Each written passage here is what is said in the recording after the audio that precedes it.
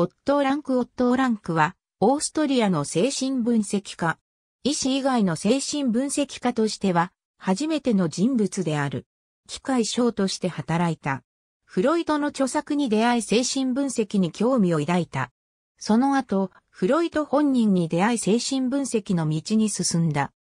ランクは医師ではなかったものの、その才能をフロイトに評価され、20年間にわたり、フロイトに最も近い存在の一人として、フロイト並びに精神分析を支えた。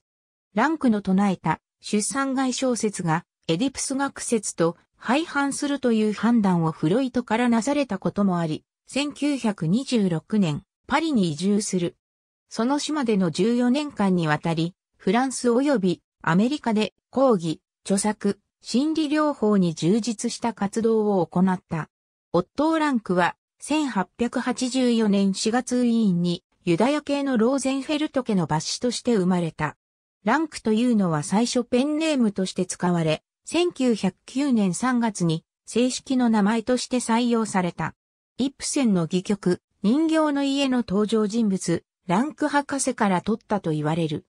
1903年から1905年にかけて人間と物事に関する思索と題されたノートに書物、劇、音楽批評に加えて自身の思索などを書き綴った。ダーウィン、ショーペンハウエル、ドストエフスキー、ニーチェ、イプセンなどを読んだことがこのノートから知られる。フロイトの精神分析についても熟知していたようで、1905年、フロイトに Der Künstler と題された論文を送っている。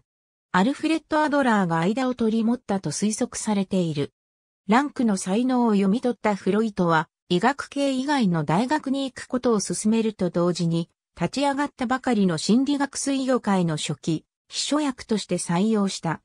1912年、フロイトから経済的援助を受けながら、ランクはウィーン大学の哲学博士号を取得した。1906年から1916年までの10年間は、ランクとフロイトの蜜月時代で、二人の仲は非常に親しく、共同の仕事もいくつかしている。1909年に出版されたランクのデアミサス、フォンデア・ゴバート・デ・ヘルデンには、フロイトのデア・ファミリーロマン・デアン・ロティッカーと題された機構がある。1914年に出版された大トラウムドイトンの第4版ではランクが2つの章を担当している。この版から1929年までランクの名が共著者として表紙に記されている。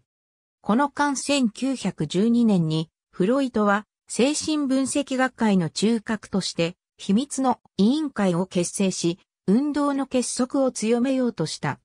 中核グループ結成のアイディアは、フロイトと一時は後継者とされていたユングとの論争に会の崩壊の可能性を見たアーネスト・ジョーンズが、フロイトに進言したものである。フロイト自身も自ら亡き後の精神分析学会の行く末を案じていたので、ジョーンズの案を採用した。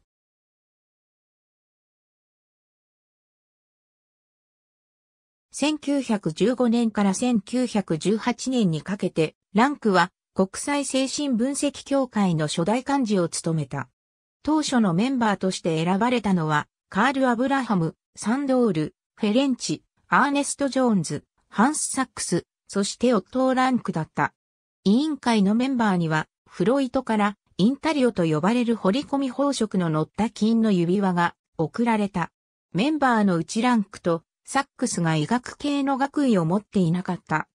非医学系だったランクとサックスは親交を深め、1912年に雑誌イマーゴと Internationale Zeitschrift für Ärztliche Psychoanalyse を創刊した。第一次世界大戦が勃発し、ランクは兵役訓練に取られたが、編集の腕を買われ1916年から1918年の2年間、ポーランドでクラクワー・ツァイトゥングという軍隊新聞の編集をすることになる。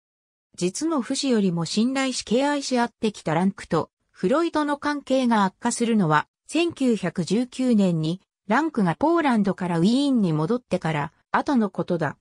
決別の背景は複雑で、過度の単純化はかえって真相から遠のく結果になるかもしれない。ここでは決別の原因になったと考えられるいくつかの事実を羅列するに止める。ランクはウィーンに住んでいたこともあって、委員会のメンバーの中で特にフロイトに近く、それだけに他のメンバーからの戦望を受ける立場にいた。ランクとサックス以外の委員会のメンバーは医学の学位を持っていた。